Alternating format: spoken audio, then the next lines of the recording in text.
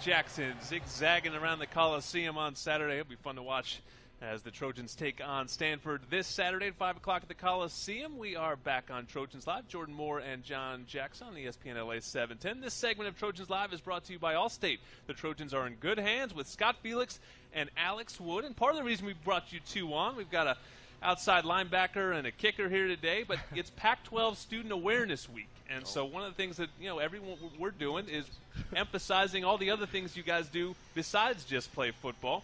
Scott, I noticed, you know, the first thing I noticed with you, you're a theater major. Yeah.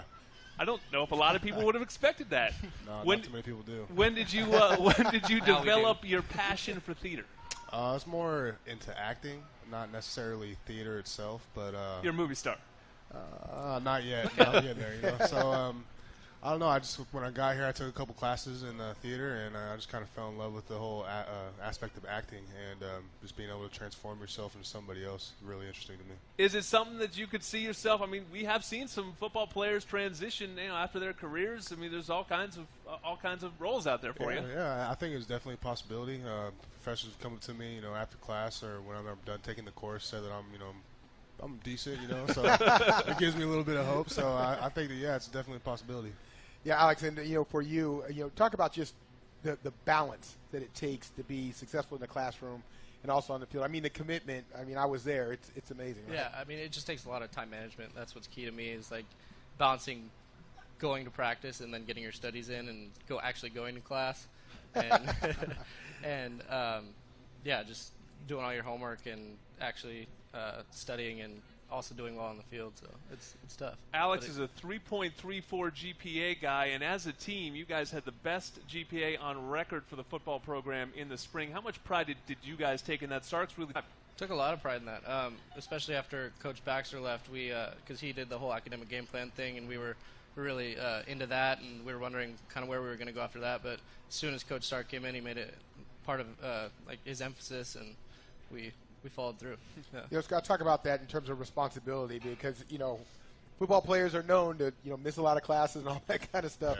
And you, trust me, I was there. You know, when you know the commitment it takes to you know have the discipline to get up and go do it. Um, you know, explain you know what drives you inside because I know a lot of people are well everybody that gets a scholarship at USC is planning on playing NFL, right? Yeah.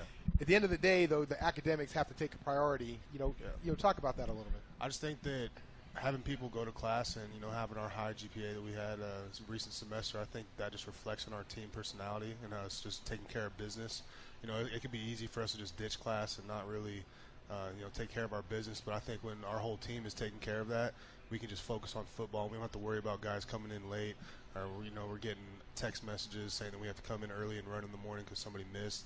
I think it just, I think it just takes care of the overall responsibility in our team and just you know reflects on our attitude. Yeah, they used to call me. I was a the, uh, uh, uh, Pac, uh, uh, academic All American. I think I was. Not a communication Not major. a communication. I was academic All American when I, you know when I played, and they used to call me academia, right? Oh. And academia was sort of like the joke that you know that you actually go to class. You guys are not that way though, right? It's like sort of like, hey, if you're not doing it, Yeah. you're more you're in more trouble than if you are doing it. Yeah, def- the hardest part is walking to class to me. I mean, once you're once you're in there, you're fine. You don't have like an air wheel like everyone else on the team I'm seems trying to to, I'm zoom trying to around get campus. one. I got to save some money to get one. Alex, one of the coolest things we saw a video this year of you and Christian Tober getting your scholarships in front of the team room, and, and Sark really surprised you. What, what, what did that moment mean to you? You know, you, you came here. I was I had forgotten your first game. Really, the first game you played in was that Stanford game long time ago, Yeah. 2012. Uh, crazy game. Uh, you know, the sort of culmination of it now as you're the starting kicker and, and you got a scholarship. Yeah, no that that morning that morning was unbelievable. I still I still think about it every day. Uh, went into meetings pretty tired, uh, just kind of not zoning out, but just hearing hearing everything you're saying, soaking it in, taking it all in, and then he started to kind of call me out and said, "Woody, if I if I tell you to kick it deep left, you got to kick it deep left." And I was like, "Oh, I thought I did a pretty good job of that at practice this week. I didn't know really what was going on." And then he just kind of pointed and was like, "Cause you're on scholarship now." And then it just like my feelings just like oh everything was and then everyone started dogpiling me and stuff and then Tober which is awesome too I, everyone loves Christian Tober and he definitely deserves it very thankful You know, Scott, talk about your career a little bit because it's been a little bit up and down. I mean, you're not up and down from an injury standpoint, right? I mean, there's been a lot of injuries you had to battle through. Now it seems like you're back, you know, 100% healthy. You know, just talk about the difference of you know what you had to make it through to get here for this senior year and finally be healthy. Yeah, it's definitely been a tough road. You know, it's not something I envisioned coming out of high school that I was going to come through all these injuries, but I think that you know everything happens for a reason. I think that everything that happened to me led me to this point in order to succeed. And you know, I feel like now it's my time. You know, it's our our time as a team, and I'm just excited because you know we see the work that we all put in every day, and you know I think that you can you can come around and you know act cocky and all that stuff, but if you're not putting in the preparation, you know, and putting in the work when nobody else is watching, then it's just you know it's phony. Yeah. So, but I, I, feel like I put in a lot of work, and I know that my teammates have too. So that just gives me most confidence in the world to go out there and succeed with them on Saturdays. Well, it is a big man's game coming up this weekend. Scott, you, you let these young guys know you got one at your position that the physical test is going to be a little bit different this week than maybe the first two weeks. Oh yeah, Stanford. Stanford's fun.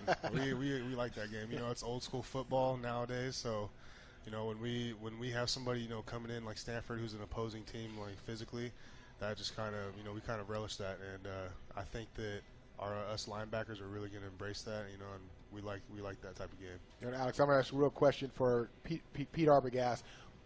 Whenever you come in to kick a field goal, we always talk about your range, right? right. Yep. Give us the official range, like official range. Official, official range. range. How far? How far you kick a field goal? Official range. Everett say exactly 60. 60.